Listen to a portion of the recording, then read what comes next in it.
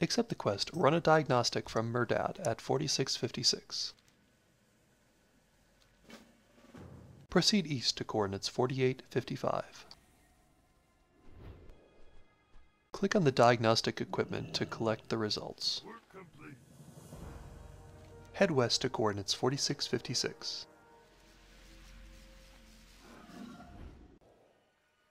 Turn in the quest to Mehrdad.